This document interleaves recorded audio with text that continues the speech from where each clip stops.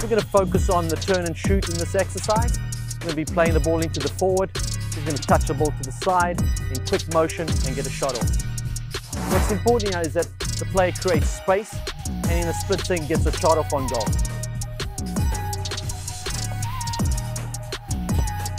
Great start, Vince.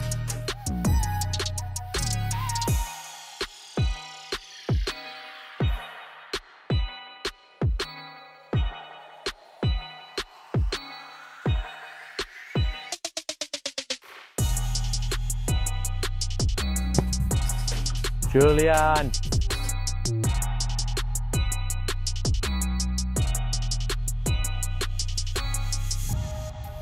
Ah, clever, clever.